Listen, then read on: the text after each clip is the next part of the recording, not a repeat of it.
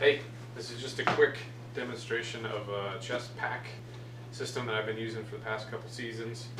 Um, I really like it because it pulls some of the weight off of your uh, pack that you're wearing and gets it out on the front so it changes your center of gravity and um, really helps out uh, how the weight feels as you're carrying it around. Instead of fighting something that's wanting to pull you back, it's pulling, it's naturally pulling itself forward and balancing you better. So uh, just a rough estimate, if I have maybe 10 pounds in this pack, it feels like I've just pulled probably 20 off of the pack that's on my back. So no way to really prove that scientifically. I'm sure there is, but I'm not going to go through it. I just know what it feels like and it feels good. So uh, the other purpose is I keep my essentials in here, um, things that I always want to have on me so that I can drop this pack and keep this with me and go uh, much more quiet um, and much lighter if, uh, if I find an animal that I want to pursue uh, on a short pursuit but I can't have a backpack rattling around behind me or over rocks and stuff like that. So um, what I've done is taken the Eberlestock uh, pack topper uh, that's designed to convert into a fanny pack um, and just kind of modified it a little bit so that it'll strap right into my shoulder harness on my pack. And I find it's a really good volume for uh, for carrying the things that I want to carry. I'll take uh, like fire starting equipment, emergency blankets, uh, GPS. I'll carry my water filtration system in here, uh, about 16 ounces of water, just the stuff that I'll be drinking as I'm moving around, uh, and some food, a couple of granola bars, some trail mix, that kind of stuff. Um, there's also a little pouch here where you can put in your uh, headphones for your GPS or wh whatever radio system you're using if you're using one. Um, I've also got this pouch on the side here that is designed for a hydration system, hydration bladder to go in there and you can fish a hose through. But I use it to carry uh, my firearm, just a Ruger LCR, uh, which isn't in there right now, it's just the case. But um, So it's right there, easy to get to. But the, uh, the way this works, um, and I'll show you the buckles here in a second, it's real quick. Say I find an animal, I've marked where I'm at currently with my GPS, I just undo my belt on my pack. Uh, and then there's a couple other buckles down here that also attach to the, the belt.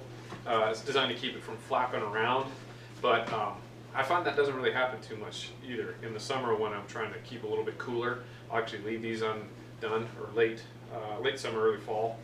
Um, but getting back to the conversion, just undo or pull out your uh, your straps that form the waist belt on the fanny pack um, and undo these up here and real quick drop down and buckle this on.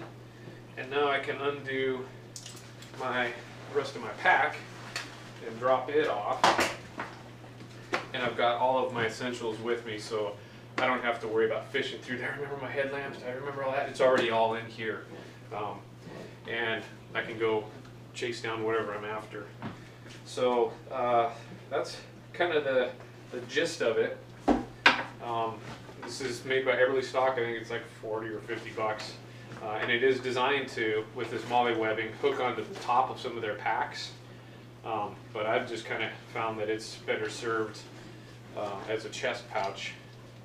Um, they do make a chest pouch, but I don't think it's designed to convert into a fanny pack, at least not as simply as this one is. You could probably hook some straps to it and accomplish the same thing, but I found that this, this is working really good.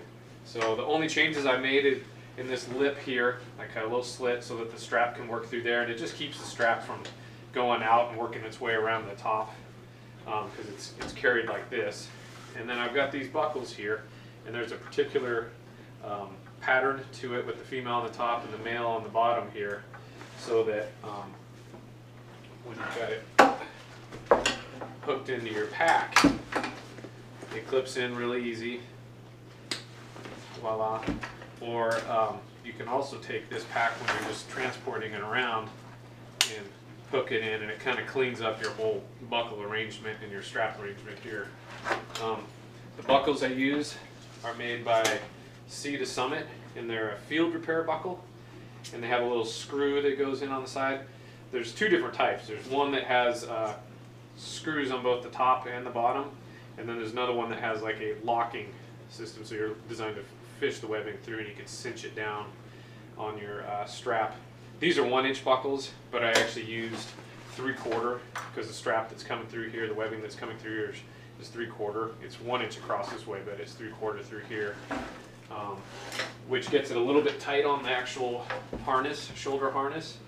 But um, you can see it still fits in there fine. It's not going to hurt anything. It actually keeps it from wiggling around. It just doesn't play around as much when I don't have the chest patch on there. Um, but that's it.